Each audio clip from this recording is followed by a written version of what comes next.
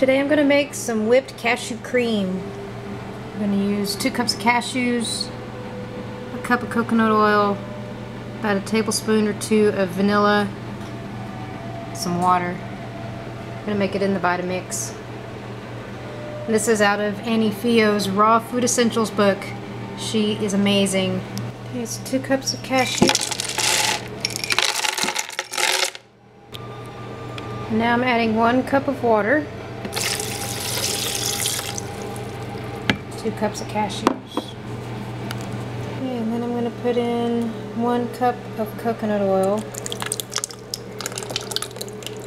I guess you could cut that with a little olive oil if you want to, but I like it straight coconut oil.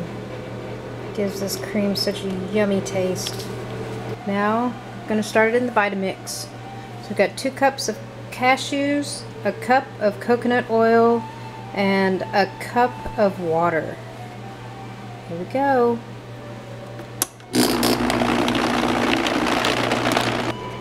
Okay, so I've mixed it up for a little bit. You have to really make sure you put the variable speed on low and work it up pretty fast if you can. Make sure that the coconut oil doesn't re-solidify because then it's really hard on Vitamix. So I had to take the top off. And I'm smashing it down a little bit, trying to get mixed up some more so I can turn it back on. And I think I'm going to add a little bit more water because the Vitamix is having a hard time mixing this. Maybe I am. I'm going to add a little bit more water. I added a little more water, like maybe a tablespoon or two. Maybe a tablespoon. And I didn't put it back on the Vitamix. I'm just sort of mixing it in. And I'm going to add in a table of vanilla calls for two tablespoons of vanilla, but that's non-alcoholic, but I have alcoholic vanilla, so I'm only going to put in a tablespoon. And then I'm going to put it on the Vitamix. Tablespoon of vanilla. Now I like to put this in toward the end because I don't want the vanilla to get beat up too much in the Vitamix. Alright, so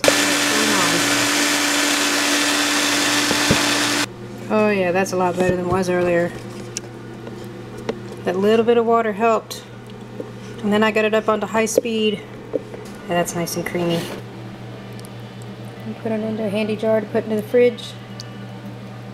I ended up adding a little bit more vanilla because it just wasn't strong enough for me. So I probably ended up putting in a tablespoon and a half of vanilla. Nice and creamy. You can put this on fruit. You can put this like in your granola in the morning with your fruit. You can put it in banana crepes. You can put it on top of ice cream. You could put it on practically anything and it would just make it taste marvelous. It's so good. Gotta have a taste.